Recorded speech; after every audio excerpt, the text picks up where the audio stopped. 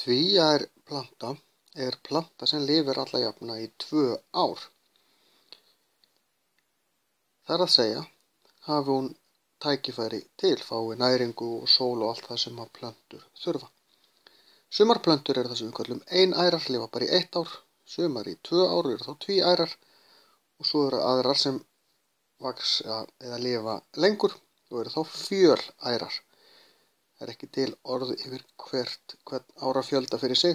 Það eru bara ein ærar, tví ærar eða fjöl ærar og sumar geta lifað í nokkur þúsund ár og það sé nú frekar sjálfgeft.